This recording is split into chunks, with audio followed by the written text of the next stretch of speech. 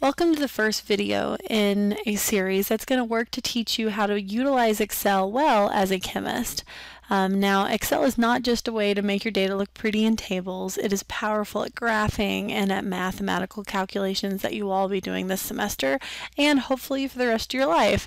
So maybe at the end of your academic career, you can simply say, I simply excel at chemistry topics covered in this video are just understanding the basics. These are very much basic things you need to know about how Excel operates. Um, so some of the main things are that you can see over here, these are our topics that we're going to be covering. Um, I will zoom in, so if you look down the bottom right hand corner, you're able to change how you zoom. So we'll zoom in so you can see a little bit more clearly what I'm working with. Um, this whole thing is called a workbook. So one of the first things you want to do whenever you open a new workbook is you want to save it. Because if you don't save it, then you're not going to be able to call it up later. And if something happens, your computer crashes, etc., you don't want to lose your work. So I do file save as, and then you can you can place it wherever it is that you want to place it. But do note that when you click this little drop down here, there's a whole bunch of different options. Um, and while it automatically picked the right one for us today, later on you you may find that it did not automatically pick it. And if you choose something like a CSV and you had graphs in your file, um, you will lose the work. So I recommend always saving it as an Excel workbook, an XLXS. And if you need to change where it is, you can just click here and then it'll save it somewhere else for you. Um, but I'm just going to rename this as like video one. Um, you can call whatever your spreadsheet is, whatever it is as it pertains to the object that you're working on at that moment. So we just saved our work. Um, we can also print, if we need to print at any time, you can print from here.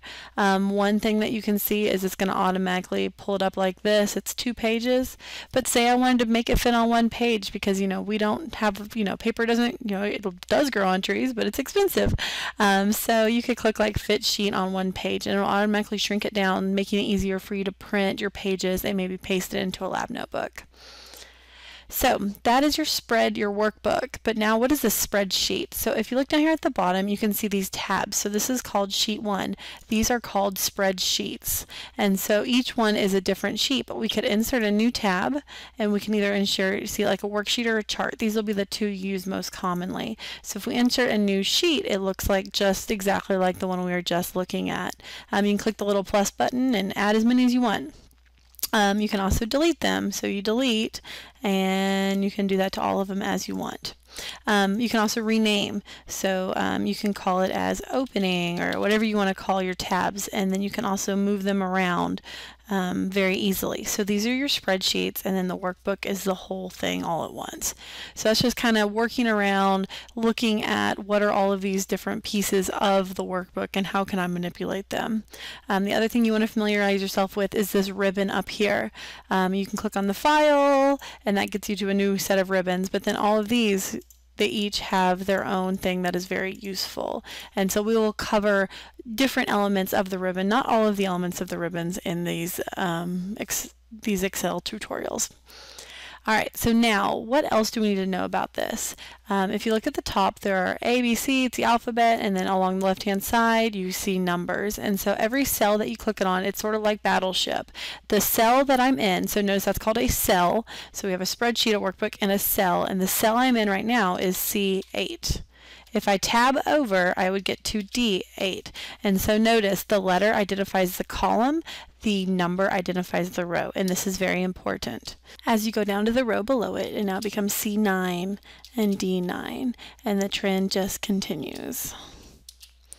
Alright, so now why does this matter? Well, this becomes critical whenever you're referring to cells from a different cell. So I can just type in a random number, and now I have written numbers in D11 and in D12. So I'm going to just label those right here just to kind of remind us what we are working with. So these are these two cells here. Um, now if I want to refer to these numbers later, so say I want to say equals and then this cell, I can either type in equals D11 or I can click equals and then click into the cell that I'm referring to. Um, and so like once again, let me just time, type it this time instead, equals D12, and notice it's now referred to that value. Now those are what's called relative cell references. And why that matters is because they are relative to the column and the row that you put them in. So meaning if I take this 8.95 and see how if I hover over my cursor changes once I get to the bottom right hand corner onto this little square, when I do that I can left click and drag it over. And what's going to happen is it's going to copy the formula exactly how I had it written prior, except it's relative to the prior cell. So meaning if I now type in a different number here and here, it automatically changes the row I just said because it's I in this column I said equals D12 but I then scooted that formula one to the right and it scooted the cell that it was referring to one over to the right. If instead I type in equals D11 or D12, but then I make this be what's called an absolute reference. And so I can do that, excuse me, by putting dollar signs in front of the column and also the row. And what that says is the dollar sign says, hey, this column of D12, I want you to keep it. I want it to be the same column. Even if I change and move the cell anywhere in this in the spreadsheet, it's still going to refer to this exact absolute cell. Okay, so now when I drag it over, it no longer moves it relative, it keeps that cell. Or if I drag it down, it's still keeping that one value. And these are going to be important to us as we're looking at things later on. Um, but for the most part, you are going to be using relative references, but these absolute references are very useful for you. We have rows and we have columns and we have cells and spreadsheets and workbooks. And if you kind of understand all that, then you have gotten the main concepts in this video.